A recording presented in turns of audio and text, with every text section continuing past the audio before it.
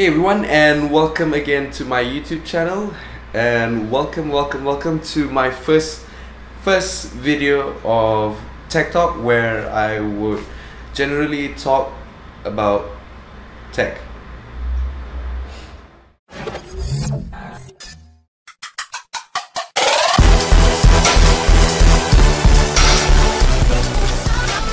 So let's talk briefly on what RAM is.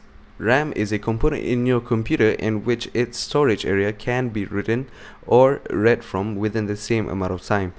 Basically, what that means is your processor will use the information stored there by the program that is running for its quick use. It's also a volatile memory, meaning that all data stored in there will be gone whenever you switch off your computer or whenever there is no power. So today, we're going to talk about RAM. How much RAM do you actually need for your PC? Well, that depends on what you are using on your PC. Um, so this is going to be uh, my opinion on general usage of a PC on how much RAM do you actually need. Basically, the more you do on your PC or the heavier the application is or even the more in-depth the application is, uh, you basically need more RAM because it needs space to uh, store those files temporarily for them to use and if it doesn't have enough space your PC is going to get slower and slower and slower. So first we're going to talk about um, the budget rig where you have a certain amount of budget for your PC and uh, you don't have a lot of money for it but that's fine you can still use it so for example of a budget rig for me is a 4 gig RAM should be enough for you to do your daily work like internet browsing or any light video editing. Uh, you won't find it as fluid as more RAMs that you have you're gonna be annoyed sooner or later so I don't recommend it for uh, video editing.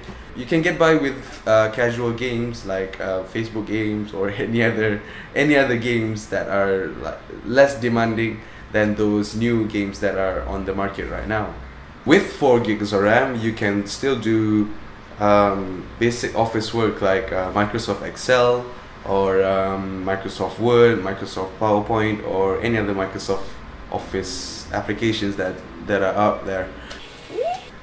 Next up is a build that is pretty standard nowadays from what I think um, which is 8 gigs. With 8 gigs you can continue playing games nowadays. There's no problem. You can play Battlefield 4 even though it says recommended 8 gigs. It doesn't mean that it's using all 8 gigs of your RAM. You can still record games while you're gaming but it won't be necessarily fast and I've experienced this myself you won't um, you'll get different results um, depending on what processor you are using actually.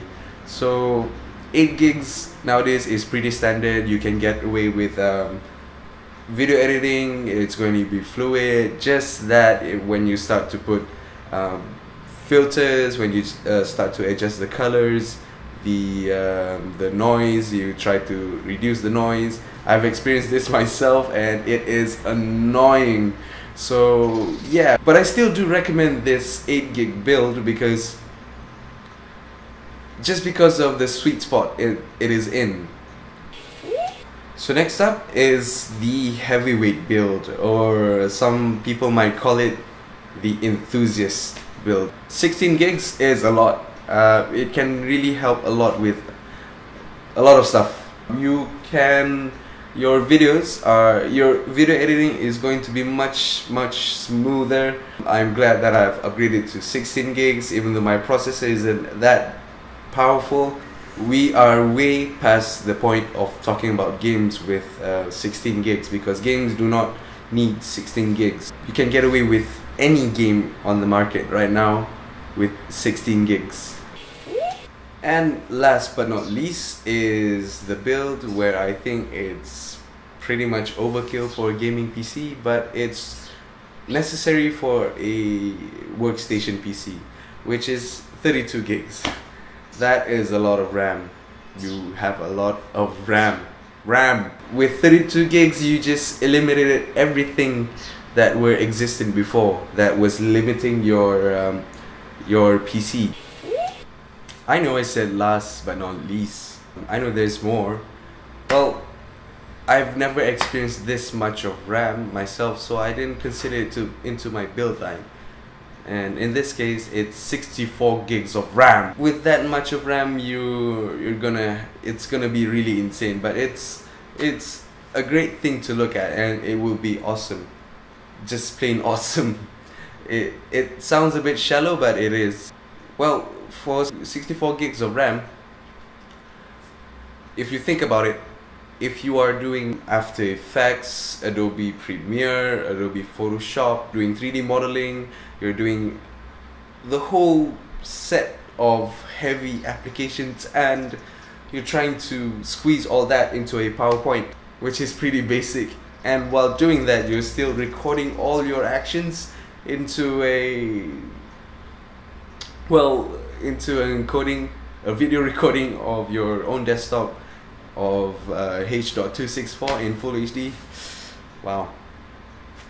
I guess you really need that much RAM. So I hope this video answers some of your questions. So guys, please don't really don't treat this video as one video uh, in the whole wide world because there's always other applications uh, or any and any other situations you can apply those RAM usage to. And uh, if you don't like it you can always comment it. If you don't agree on what I said this is my opinion but if you still want to say it out just put it on the comment section. Um, and as always if you like the video hit the like button. If you dislike the video press the dislike. And if you want you can comment on the comment section below. And do not forget to subscribe to my channel because I will still have more videos coming. Alright thank you